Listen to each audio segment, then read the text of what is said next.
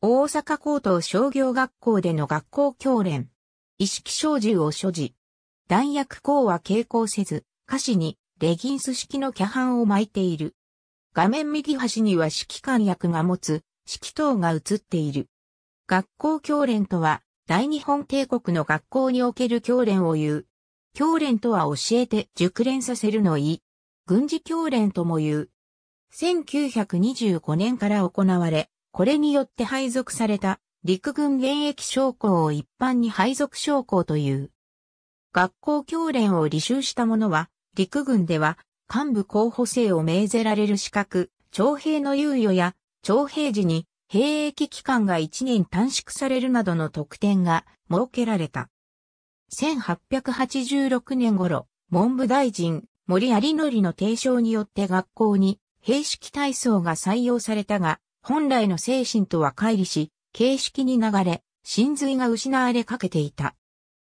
1914年に第一次世界大戦が勃発し、各国で国民教練の機運が高まり、日本においても国民の心身を発達させ、資質を向上させ、国力の根幹を養い、国運を流星し、その基礎を固くすることが必要であると叫ばれ、まずは学校における教練をより新作し、体育を促進し、特育に悲劇し、国防能力を増進することが図られ、現役将校を配属させることとなった。学校教練教材用目としては、括弧教練、部隊教練、射撃、指揮法、陣中勤務、手旗信号、距離測量、即図学、軍事講話、戦士などで、教材の配当は学校の程度に応じて差異があった。文部省では操縦士の早期育成として、1938年から男子中等学校での滑空部の設立と滑空訓練を推奨、指導のため教官が軍から派遣された。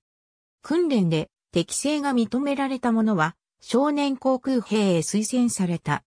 1941年には太平洋戦争開始により大量育成のため成果として格上げされた。練習機として文部省、式1型が使用された。本制度設立の目的としては、主に次の点が考えられる。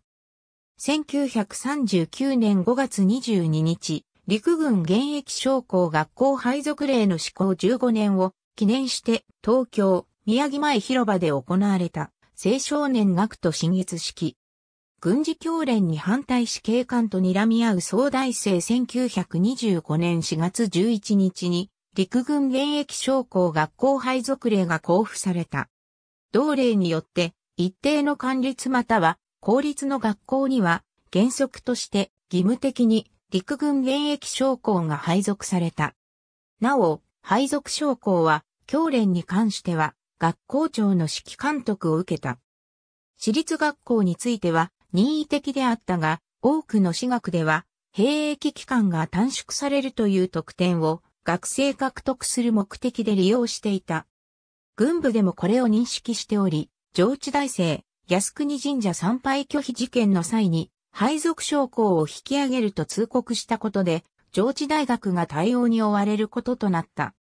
大正期に起きた早稲田大学軍教事件や小樽、交渉軍教事件などに象徴される反軍学生運動のこと。1924年秋頃から中等学校以上の学生生徒に対して軍事教練を施すとの案が交付確実と報ぜられるや、これに反対する学生たちによって全国学生軍事教育反対同盟が結成され、翌年1月、軍事教育反対令を組織、警視庁によるデモ中止命令に激行した学生たちはデモを強行し、学生リーダー数名が検測された。さらに、小樽交渉事件の抗議運動は、東京にも波及し、東大などで批判演説会が開催され、社会の注目を集めるところとなった。学校教練ではコストを抑えるため、陸軍で使われなくなった旧式や式小銃のように、配備を見送った銃器が使用されたが、数が揃わず動作が安定しないものも含まれていたことから、軍で使われる練習銃も利用された。ありがとうございます。